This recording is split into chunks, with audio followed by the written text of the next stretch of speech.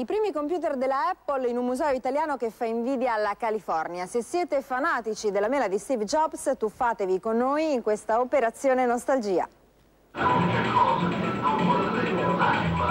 Nei sotterranei si aggirano fantasmi tecnologici. Al piano di sopra c'è la storia del personal computer. Comincia con Apple I, ideata da Steve Jobs e Steve Wozniak. È il 1976. Veniva fatta da un artigiano che a mano costruiva delle cassette in legno, il prezzo di questa macchina era 666 dollari,66 centesimi, praticamente il numero del demonio.